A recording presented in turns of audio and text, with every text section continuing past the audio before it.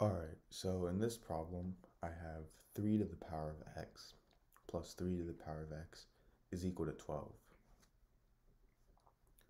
So, obviously, I want to find the value of x here. So for my solution,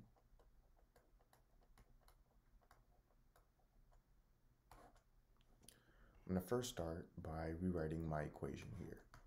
So I get 3 to the power of x plus 3 to the power of x is equal to 12. And now, on my left-hand side, I'm going to go ahead and factor out 3 to the power of x. So now I get 3 to the power of x times 1 plus 1 is equal to 12. And 1 plus 1, that's equal to 2. So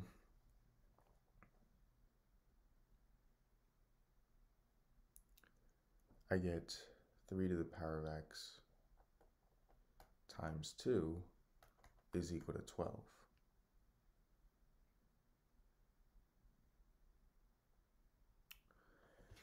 Now from here, I'm going to divide both sides by 2. So then these two cancel out, and I get 3 to the power of x is equal to 6. Now, if we plug in x equals 1, we get 3 to the power of 1, which is equal to 3. And if we plug in x equals 2, we get 3 to the power of 2, which is equal to 9. So we know that the value of x has to be somewhere in between 1 and 2, because 6 is between 3 and 9, meaning that x is going to be a decimal value. So, to find the exact value of x, we're going to have to use logarithms. So if I take the log on both sides, I get log 3 to the power of x is equal to log 6. And there are actually three important logarithmic properties that you guys should know. So the first one is that if I have something in the form log a to the power of b, I can move this exponent b to the front. So this is going to equal b times log a. The second one that you guys should know is that if I have something in the form log of a times b, this is going to equal log a plus log b. And finally, if I have something in the form log of a over b, this is going to equal log a minus log b. So we have log 3 to the power of x equals log 6, and we can use our first property here, log a to the power of b is equal to b times log a. So I can move x to the front, and I get x times log 3 is equal to log 6. Now from here, I can, we want to isolate x, so I can divide both sides by log 3. So then these two cancel out, and I get x is equal to log 6 over log 3.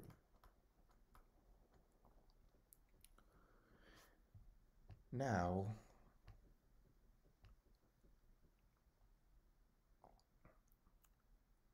I'm going to rewrite 6 as 3 times 2. So I get log 3 times 2 over log 3. And remember, now we can use our second property, log a times b is equal to log a plus log b. So log 3 times 2, that's going to equal log of 3 plus log 2. And I have this over log 3. I can rewrite this as log 3 over log 3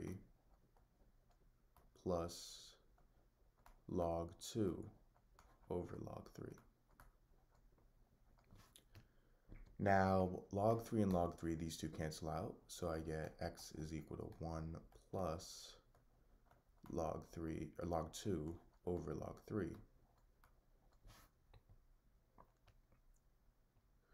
And log 2, that's equal to 0 0.301, And now I have this over 0 0.4771. So this is going to equal 1 plus 0 0.6309. And 1 plus 0 0.6309 is 1.6309.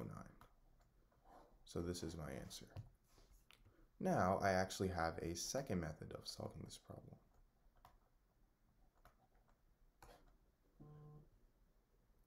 So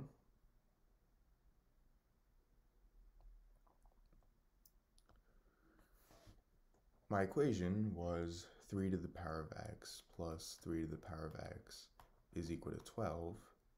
And I'm going to start like I started with the first method by factoring out 3 to the power of x from my left-hand side. So I get 3 to the power of x times 1 plus 1 is equal to 12. Now, again, I'm going to solve what's in my parentheses. 1 plus 1 is 2. So I get 3 to the power of x times 2 is equal to 12.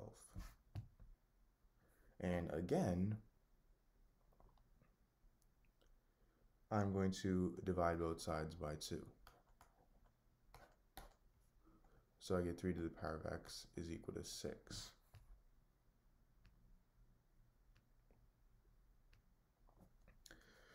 Now, remember from I got x is equal to 1.6309. Now I'm going to plug this in.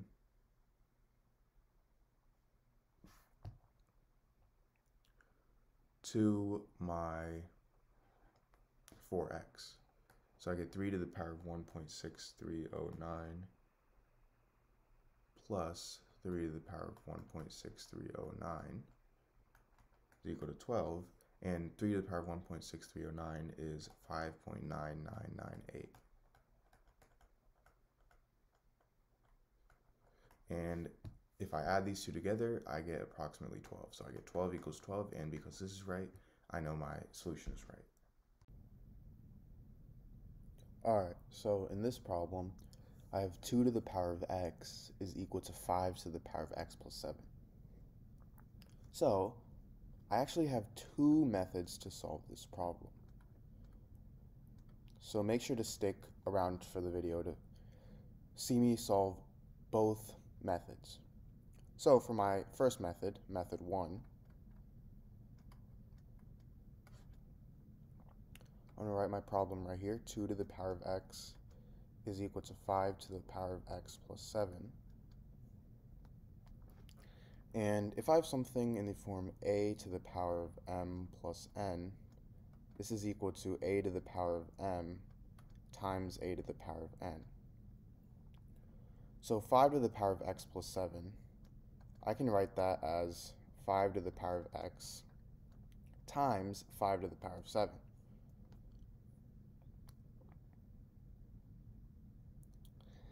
And now from here, I'm going to divide both sides by 5 to the power of x. So then these two cancel out, and I get 2 to the power of x over 5 to the power of x is equal to 5 to the power of 7. Now from here, an important property of exponents is that if I have something in the form a to the power of m over a to the power of n, this is equal to a to the power of m minus n. So 2 to the power of x over 5 to the power of x is equal to 2 over 5. And another property is that if I have something in the form a to the power of m over b to the power of m, this is equal to a over b to the power of m. So 2 over 5 to the power of x. And this is equal to 5 to the power of 7. Now from here, I'm going to take the log on both sides. So I get log 2 over 5 to the power of x is equal to log 5 to the power of 7. And if I have something in the form log a to the power of b, I can move this exponent b to the front, so I get b times log a.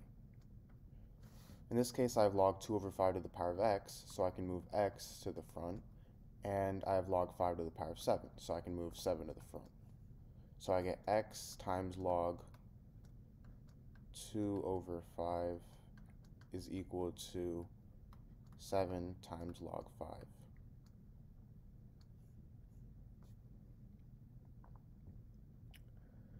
Now from here, we obviously want to find the value of x, so to do that, we have to get rid of log 2 over 5 by dividing both sides by log 2 over 5.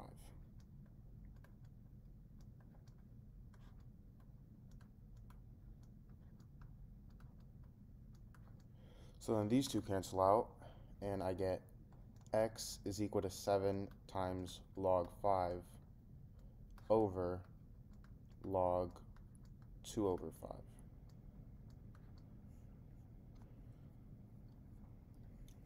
And we have our answer here. This is our solution, but there is a way to simplify it more. So first off, if I have something in the form log a over b, this is equal to log a minus log b. So log 2 over 5, that's going to equal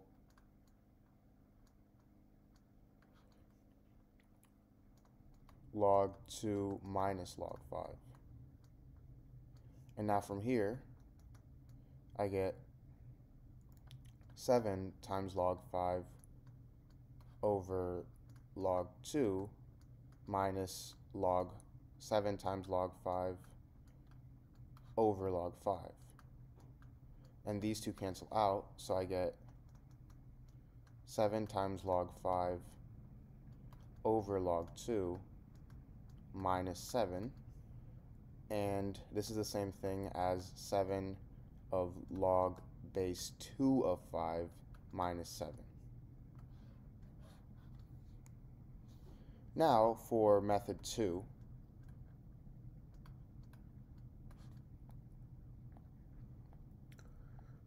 what I can do is my equation was 2 to the power of x is equal to 5 to the power of x plus 7. And now I'm going to just start by taking the log on both sides. So I get log 2 to the power of x is equal to log 5 to the power of x plus 7. And now using that property, I get x times log 2 is equal to x plus 7 times log 5.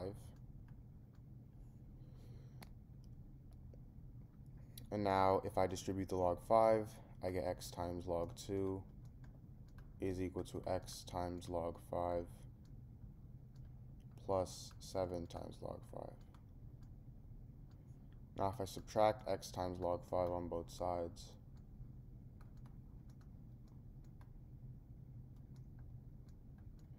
these two cancel out and I get x times log 2 minus x times log 5 is equal to 7 times log 5. Now I can factor out x, so I get x times log 2 minus log 5 is equal to 7 times log 5. And divide log 2 minus log 5 on both sides.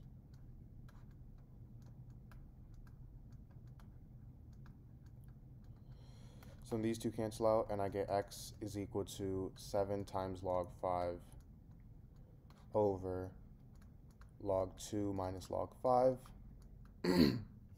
which again simplifies to this. So x equals 7 times log base 2 of 5 minus 7 is my answer.